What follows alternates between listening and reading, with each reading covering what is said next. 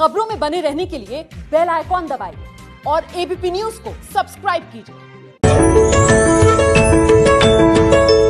कन्या राशि वक्त आपके लिए अच्छा है। नए रिश्ते जुड़ सकते हैं लाभ होता हुआ दिखाई दे रहा है। बस एक सावधानी बरतिएगा। इस दिन पार्टनर्स के साथ अच्छा व्यवहार कीजिएगा। उपाय क्या करना है?